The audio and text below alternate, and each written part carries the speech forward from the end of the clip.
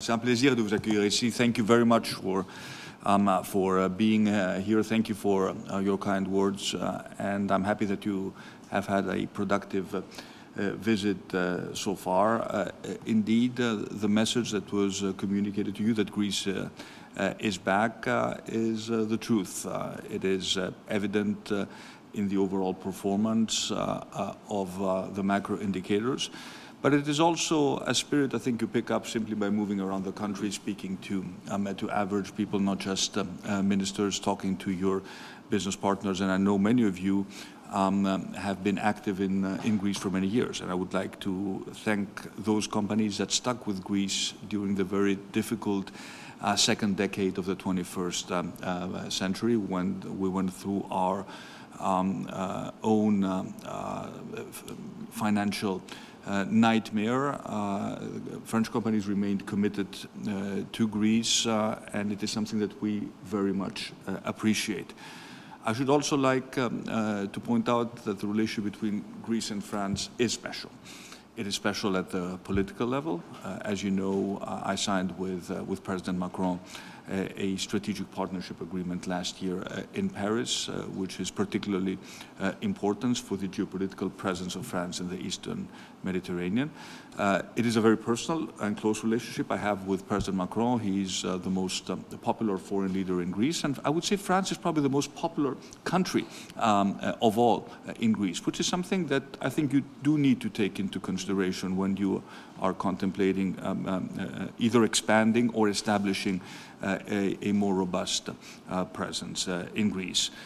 We're now in the midst of uh, profound uh, geopolitical changes, fa facing um, major challenges when it comes to the cost of energy uh, and inflation.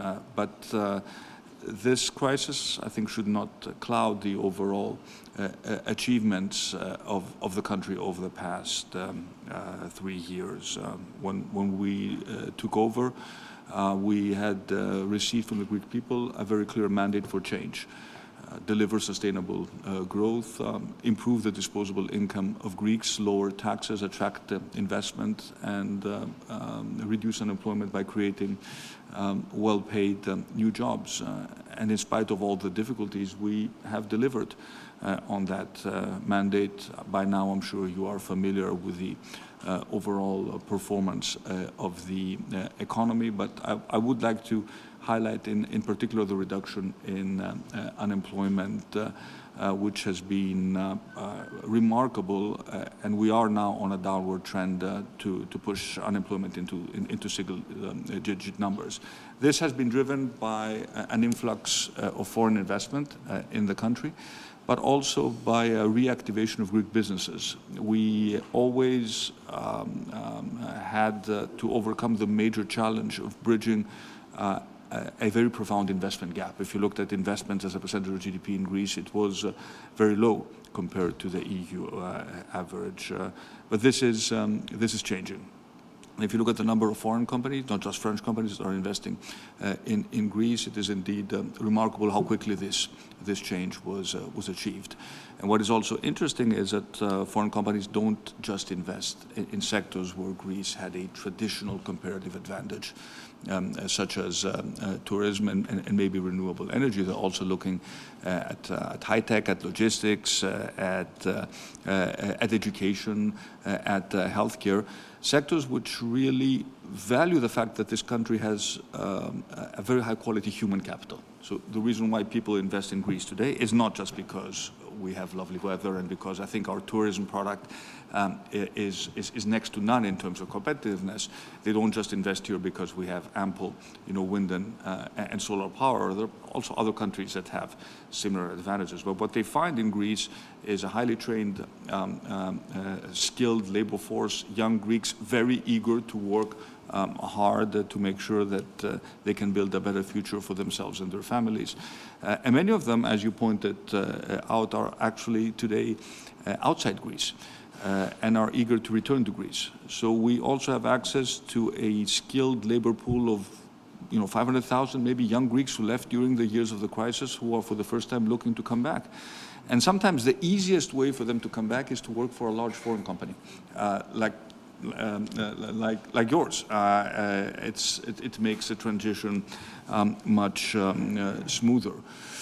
So overall, uh, we have reasons to be to be happy with the performance uh, of the uh, economy, but we're also very conscious of the difficulties that we have um, uh, ahead of us. Um, we are very concerned uh, with uh, the rising cost of energy.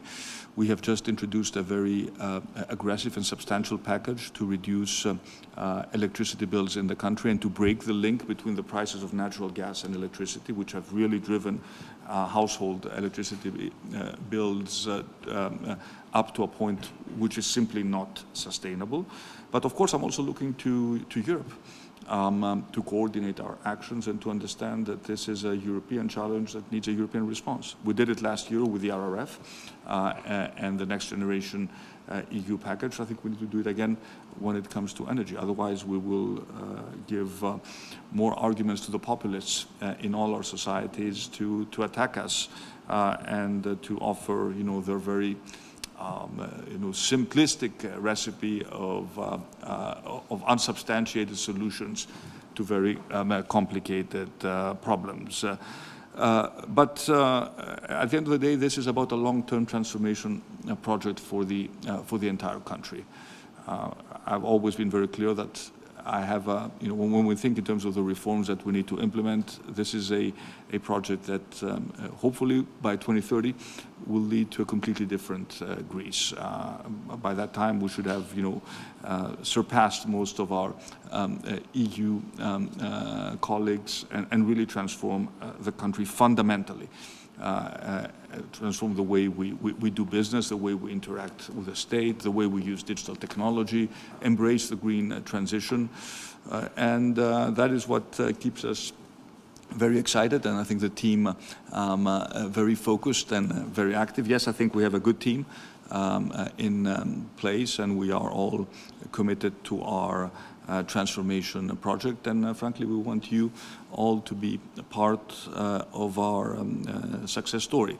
And I do want you to also make the case to the smaller companies. I would be very happy to come and, and join you if my schedule allows it, because the big companies, I think, are aware of what's happening in Greece, but there is a, there is a um, uh, a, a, tier of companies under the, you know, the big multinationals which have the capacity to invest abroad or would look at Greece or the Balkans because Greece is the entry point for the Balkans, for the Middle East, for, for Northern Africa as a natural base for the expansion of their uh, activities. Uh, so please make that case also to your, um, uh, to your other uh, colleagues and we would be very, very happy to welcome uh, more uh, French companies to Greece. Your ambassador is doing an excellent job and always a, a very big proponent of, of French business interests, as he, as he should be in the country. But, you know, I will conclude with what I said uh, at the beginning that this is a special relationship and there is a,